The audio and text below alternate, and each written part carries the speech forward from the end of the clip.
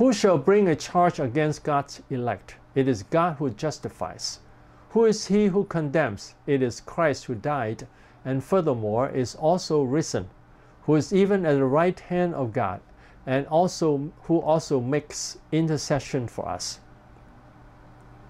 Okay, and the theme is no one, including ourselves, can accuse us. So let me explain here. Who can bring a charge against God's elect? Who can accuse us? Who can like bring a charge in, uh, uh, in a court to speak against us? It is God who justifies. It is God who, who calls us righteous, who make us righteous. Who is he who condemns? Can anyone condemn us?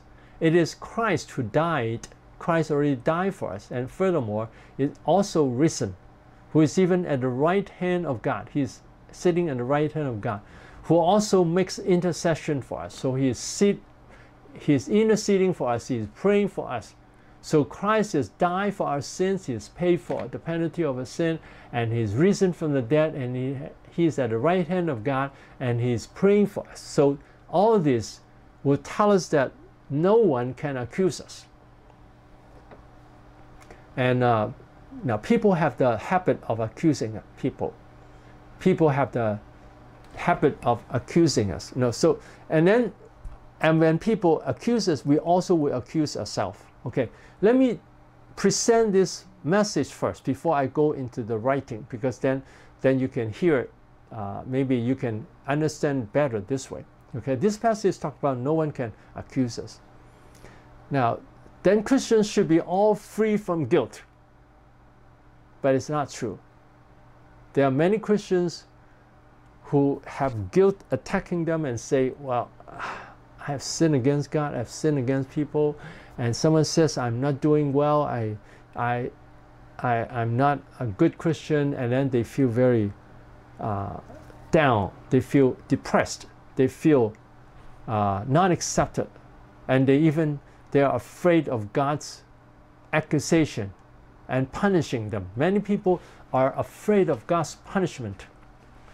Now, God punishes those who don't repent. When we repent and want to obey God, even when we're not perfect, God is still happy with us and He will not punish us. So we want to, you know, want to continue to obey God more, to love God more, to obey God more. But even when we're not perfect, when we make some mistakes, we ask God to forgive us and, and, uh, and to protect us. So we don't have to be afraid of people accusing us and saying that we're not doing well. So the reason why many people are, they don't have this um, free conscience because they are being attacked from outside from other people and also they themselves accuse themselves many, many times. But God's nature, God's nature is that He, when Jesus paid for our sins, He says that that He has already paid for our sins. He died for our sins. Then all the sins are paid for. All the sins are paid for. So in Him, we we don't owe Him anything when Jesus, when we accept the gift of Jesus. Now we do owe God because he has given us so much. But when we accept Jesus, then we have all things together with Him. Then we don't owe Him the debt of sin. That even though we have sinned, but we don't owe Him because all these are already covered by the blood of Jesus. It's already paid for by the blood of Jesus. We are all forgiven. So God doesn't want to uh, condemn us. God accepts us totally. Whenever we sin, we just pray to God. God is very happy and He'll for sure forgive us. And we don't have to worry, we don't have to accuse ourselves, and we can live in a, a joyful uh, way, in a, with free conscience. So, how can we live with a free conscience? First, we really hold on to these Bible verses. Jesus has died for me. He has uh, risen from the dead. He has. He's now uh, at the right hand of God and pray for me so all the sins are paid for. So first we trust in this and then we truly repent. But another thing is we also want to turn away from all sins. Because when a Christian sins, especially when a uh, Christian sins intentionally, when he knows that it's sin and he still continues sin, he gives the devil a chance to attack him. Satan will put a thought in him. You say that you believe in Jesus, but you don't really believe in Jesus because you continue to sin intentionally. You're not really repentant. So God doesn't forgive you. So Satan want to put that thought into our heart. And also, when we sin, we lose the joy. Nobody will feel joyful when he has sinned. When we have, you know, imagine a Christian just has stolen something, or he, a Christian uh, commit adultery, uh, or he yells with his wife and children and fights with people, he will not have joy. So the sin will take the joy from him. So when we sin, we say, Lord, please forgive me. And also, we want to say no to sins because we know that sins are destructive. And what can we do? Whenever we have sinful thoughts in our heart, immediately we'll say, the sins will destroy me. So I want to say no to the sins. I want to say no to the sins and turn away from the sin. When we have lust, imme immediately we'll say, I don't want to have lust because it will steal from me. When we have anger, we'll say, I don't want to have anger. I want to calm myself down, put down my burdens, relax, and instead of being angry, I will just talk peacefully with people to try to resolve a situation instead of being angry. So this is how we can take care of the sins whenever we have sinful thoughts. And then with, and then we can appreciate God's work in our hearts, that He is working in my heart so that I can say no to sins. And God is very happy with us. So we can tell ourselves, God is very happy with us. So I'm uh, God is pleased with me when I repent and when I obey Him, and then we will feel joyful. And then we continue to praise God, and then we continue to have this joy. Okay, so here now we look at the, uh, the writing. The theme, no one including ourselves can accuse us. Interpretation. Who shall bring a charge against God's elect? is a rhetorical question. That means its purpose is not to get an answer, but to create a dramatic effect to make people think. So, uh, rhetorical question is something like that people know the obvious answer. For instance, uh, uh, a person has uh, sin, has lust in his heart, and then the, the pastor knows about it, and then he will ask him, uh, "Aren't you married?" So, the man knows that he's married. The pastor is not saying, you know, do you know whether you're married or not? Think, are you married or not? He's not asking for an answer. He's just making him wake up to his condition that he's married. Aren't you married? So that's a rhetorical question. So who shall bring a charge against God's elect? That's a rhetorical question. That is a question that has the obvious answer. No one can bring a charge against God's elect. But it's to uh, create a dramatic effect. Who can bring a charge or accuse God's elect? The obvious answer is no, no one can. So if no one can accuse us, why do we need to be afraid of people accusing us? So we don't have to be afraid of people who accuse us. Two, no one can bring a charge against God's elect because God justifies us. God calls us righteousness. That is, He calls us righteous. Who is He who condemns? Christ has died and is risen and is at the right hand of God and inter- in interceding for us.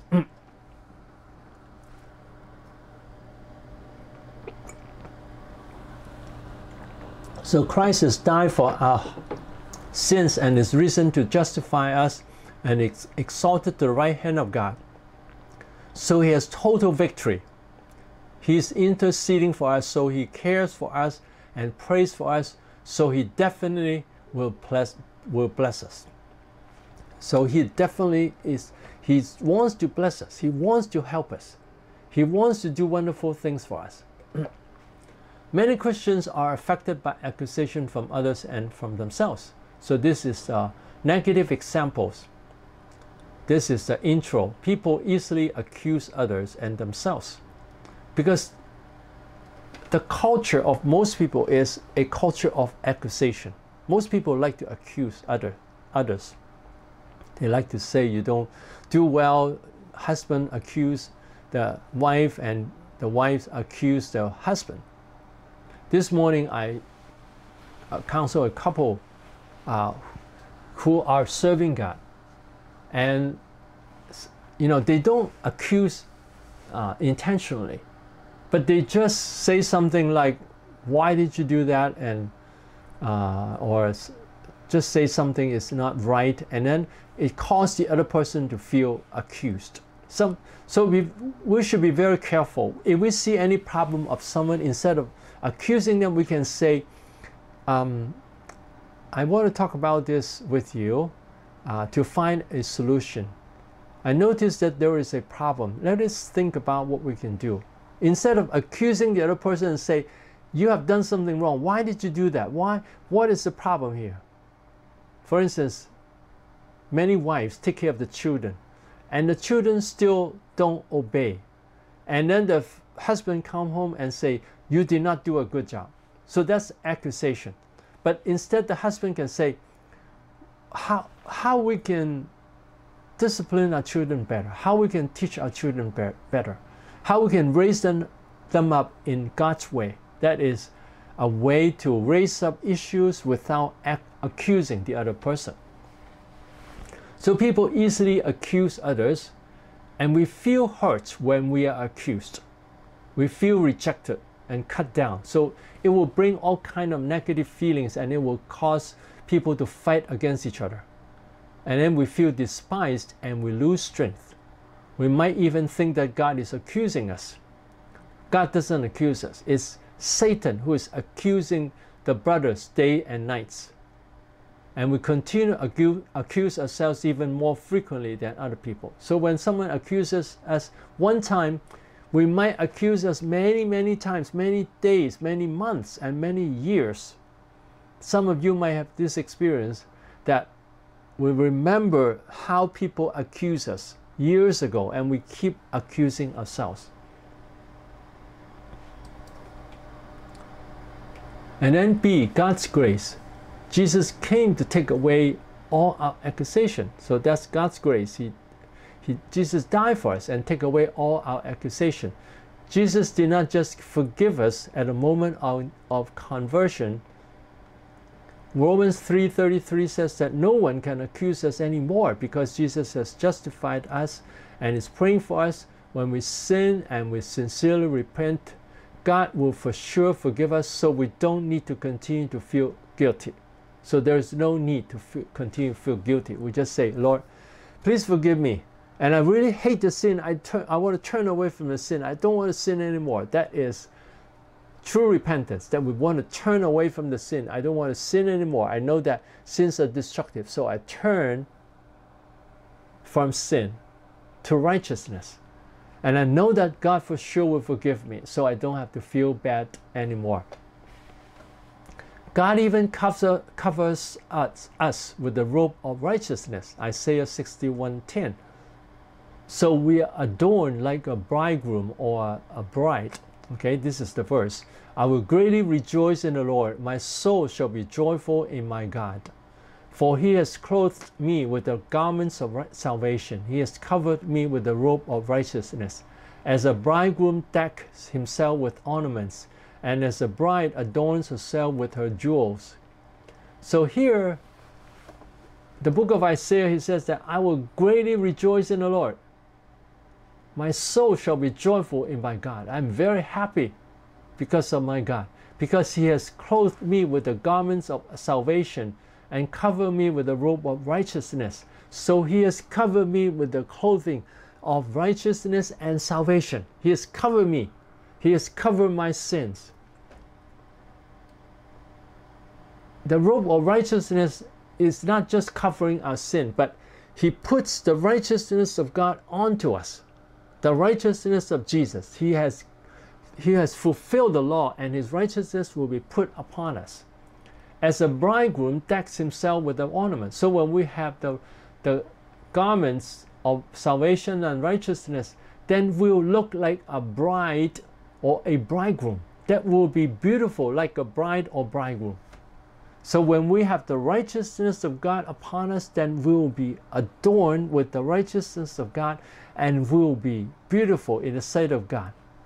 So that is what this verse says. That is not just, Jesus did not just forgive our sins, but He covers us with a robe of righteousness. He adds something to us. His righteousness, the Jesus' righteousness, that He has fulfilled the law, will be covered upon us. That in the sight of God, we are like Jesus, that we have fulfilled the law. So that's how beautiful we are when we have the forgiveness of Jesus Christ. See, why many Christians have problems believing that no one can accuse them? Why don't they believe that? And they think that people are accusing them and continue to accuse ourselves because we are used to the culture of accusation. So, because some people, they always accuse, we live in a culture of accusation. We're used to accusing others. At the same time, we are used to accusing ourselves. We too will accuse ourselves. We unconsciously believe that this is the norm. We think that this is normal for people to accuse each other. And this is damaging to us and to the body of Christ when we accuse other people and accuse other uh, ourselves. So understand when we understand this, we know why. Okay? And then there is a reminder from the law. For you did not receive the spirit of bondage again to fear, but you received the spirit of adoption by whom we cry out Abba Father. Romans 8 15. So we don't receive a spirit of bondage, the spirit of a slave, but we receive the spirit of adoption, that we are adopted as children of God, that we can cry out to God, Abba, Father. So people continue to be affected by accusation from others and from themselves, are living with a spirit of bondage. They are like slaves, and they have no strength. They continue to think that they are too bad to be used by God. They think that they are useless, they, God will not like them. But the Bible says that we have the spirit of adoption. When we trust in Jesus, when we ask God to forgive us, that He really forgives us, and then we have the spirit of adoption, then we can be free. So, but when people don't believe that, then they are living in the spirit of bondage. So there are many Christians who live in accusation of others and themselves. They continue to accuse themselves, then they are suffering. So that's a warning from the Bible. Don't live like that. Don't live like a slave. Don't live like a criminal. When people don't repent of the sins, they will also be attacked by guilt continu continuously. So another reason is that people don't repent of their sins, and then they will be accused uh, by their guilt feeling. Okay, how to live without accusation. First, forgiveness and righteousness are gifts already given to us by God. We just repent, trust in Jesus, forgive, Jesus' forgiveness, and believe the promise in Romans 8:33. We just repent, trust in Jesus, and then He will forgive us. Two, we examine ourselves and find out how we have believed in accusation. We want to break all the beliefs of accusation. So sometimes we have the habit of accusing others and accusing ourselves. So we want to break this habit. I don't want to accuse myself of the mistakes I made before, of the sins I've committed before. I want to turn away from the sins. I want to break the habits. I want to break this accusation that will say, Lord, help me, help me. I know that destructiveness of sins. Now, there are many Christians who continue this uh, uh, vicious cycle. They continue sin, they continue sin, and then what happens is they go down more and more. They continue to have guilt, and they have guilt, and then they feel guilty, and then they sin more. They sin more, and they feel more guilty. So they it continue to go down, a downward spiral. Instead, we say, yes, I know that. Sins, when I commit sin, it will cause me to accuse myself the sins will accuse me. So we know that sins are destructive. We want to say no to sins. We want to turn away from sin, and God will for sure forgive me. So that is motivation with grace, okay? That God wants to forgive me. God wants me to be free of guilt. God wants me to live like children, not like slaves. So there's no reason to continue to sin. Now, instead of saying, if you continue sin, you'll have accusation. Now, this is the law. We, we have this part. We can tell people when we continue sin, the sin will continue to accuse us. But we know that when we repent and turn away from the sins, then we have freedom. We have a free conscience. Conscience. We we no one can accuse us, so we can feel joyful and peaceful and happy. So that is motivation by the grace of God. We don't just tell people, now this is the way of the law. You have to repent. If you don't repent, God will punish you. So you must repent. If you don't repent, God will steal, I mean, uh, Satan will steal from you. He will steal everything from you. You lose everything. So you must repent now. That is warning from the, uh, from the law only. We don't want to just use the law. We want to tell people God is very happy to forgive you. God sees that you are being controlled by sin. God is sad for you. He wants to rescue you. He wants to take you out from the burden of sin. He wants to set you free so, so you can live like children of God, so you can enjoy God. So when we trust in God and turn away from sin, God is very happy and He will give us a free conscience. He'll give us uh, peace and joy so that we're not attacked by accusation or guilt anymore. And whenever we are attacked by guilt, we say, The Lord forgives me so I can put down all my sins. I, I can put down all my guilt. And then we want to hate sins and turn away from sins. Because when a person sins habitually, no matter how much he believes in forgiveness, he will still feel guilty. So if a person sins all the time, he will continue to feel guilty. So we must turn away from the sins and say sorry and ask God to forgive us. And we know that God will forgive us, and then we can be free and joyful, and we don't have to accuse ourselves anymore. So, um, the challenge we all suffer from accusation. Do we want to be free from accusations? It is a free gift. It can bring us freedom and give us strength and joy. It's unnecessary to live under accusation. You can take this freedom now. So, do you want to live in freedom? Do you want to turn away from your sins and live that in a way that believing that God really forgive us and there is no need for any accusation? So, now I, I want to explain again the difference between motivation by the law only and motivation by grace and law. Okay, Motivation by law only would be saying, if you sin, God will punish you, Satan will steal from you, and you lose everything, so repent. Now, this is just motivation from the law. And we want to motivate from God's grace. God is a gracious God. God is a God of forgiveness. He understands that Christians, many Christians are weak that we can go into sin and are weak. And then they are attacked by accusation. God understands that. So that's one nature of God. God understands the sinners. He understands the problem of the sinners. So that's why there are serious sinners. The woman who was caught in adultery when he, she was brought to Jesus, Jesus did not accuse her. He understands that she was suffering under sin. She was under the bondage of sin and she has no strength. So Jesus will forgive her willingly so that she can be set free. So she can be set free. That's the motivation from God. God wants to forgive us so that we can be set free. This is grace. This is what God does for us. So that's the point. What God does for us to free us from sin, to take out, uh, uh, free us from accusation, to assure us of forgiveness that we have the value of a child of God, that we are like a child of God. Uh, we are totally a child of God in the sight of God. So that is motivation by God's grace. He is happy to forgive you. When you come to God, He'll, He'll forgive you. And then at the same time, we can put in the warning from the law But if you don't repent and you think that you can continue sin and then you come back to ask God to forgive you, then you continue to have accusation in your heart and you continue to feel guilty.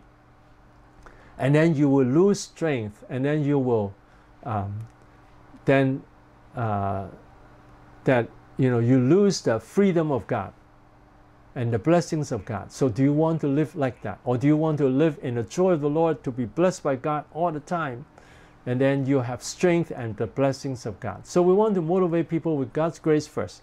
And then we still remind them with the law. Okay? So now the first passage we talk about today, let me demonstrate also how different it is just to with, uh, do it with the law. Okay, this passage here, if God is for us, who can be against us? He who did not spare his own son, but he delivered him for us all, how shall he not with him also freely give us all things?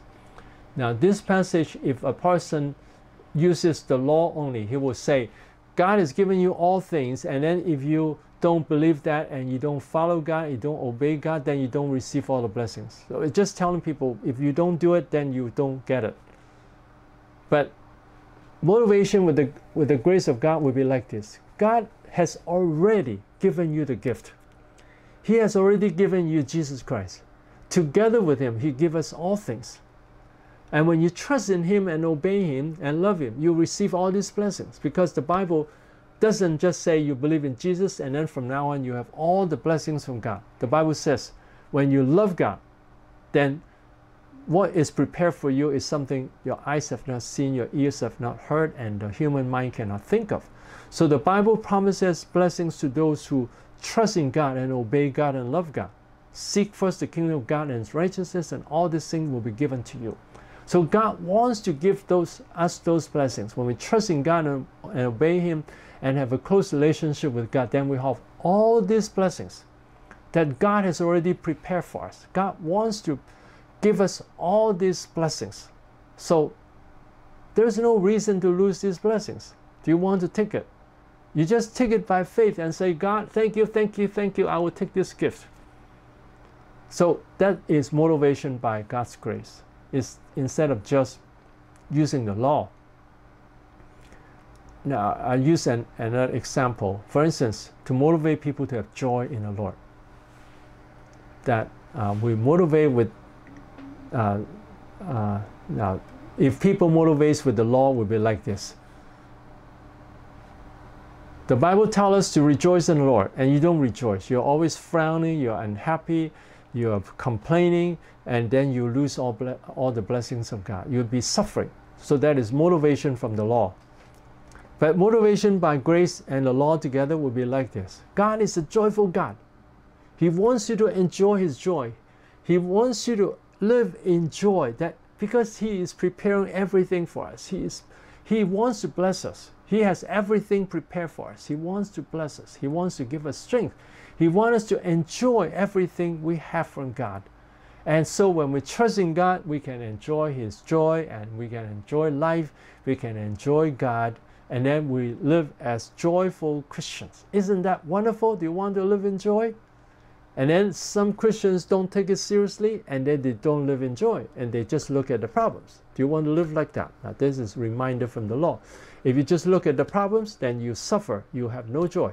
But if you look at God's grace all the time, you thank God for His grace and you trust in Him, and you believe that God is blessing me, God is blessing me, God is helping me, then you'll be enjoying Him all the time. Okay? So I hope you all understand that. And if you have any problem, please send me the questions and then please send me the assignment so that you practice that. It's for your good. So that you're motivating people and then they will see God is good. Yes, I want to obey Him and love Him and serve Him. Then your church will be full of people who serve God and love God and they are not put under pressure to serve God, but they enjoy serving God. They, they, you know, you can teach them whatever little things you do for Him. When you put the chairs in place, you clean up the church, you help other Christians, you help the newcomers. God is very happy, and God will bless you, and He will, your life will be strengthened. So then we can motivate people like that. And and then there are some people doing that, and then you say, wow, this person he is so faithful. He's doing all these things for God. God is happy with him. So we can be like that too. So that is motivating people with grace mainly. And then with the law as a reminder. Okay, let's close with a prayer. Dear Heavenly Father, we praise and thank you because you're a gracious God. You're a wonderful God. You're full of goodness. You have all kinds of good things you want to give us. You want us to live in a uh, in your, your, joy, in your blessings. We want you want us to enjoy life and enjoy God all the time. Thank you, Lord. You're so wonderful. We enjoy you. We love you. We like you. Please help us to put down all our burdens. Now, please stand up to relax ourselves in the sight of God and pray together. Lord Jesus, take away our burdens, take away all our sorrow, all our worries. Lord, provide for us, please. Bless America. I'm sorry, bless Africa. Lord, bless Africa. Bless the people and bless the world, everyone in America and everywhere in Europe and everywhere. God bless us all. Give us strength from you. Give us joy from you be with us. Thank you, Lord Jesus. Thank you, Lord Jesus. You're so wonderful. You're so wonderful. You're a great God. Hallelujah. We enjoy you and we want to love you. We want to trust in you. We want to serve you. We want to glorify you. We want, to tell people about Jesus because Jesus is a wonderful God. Thank you, thank you, thank you, thank you. And you are the only true God. Hallelujah. Father, Son, and Holy Spirit are the only true God. Uh, only true one God. Thank you, Lord Jesus. Glory to you. Hallelujah. In Jesus' name we pray. Amen. Okay, God bless you all. And you can send me questions and send me the photos in the photo group. Okay, God bless you. Bye bye. Please send me the questions and assignments. Okay.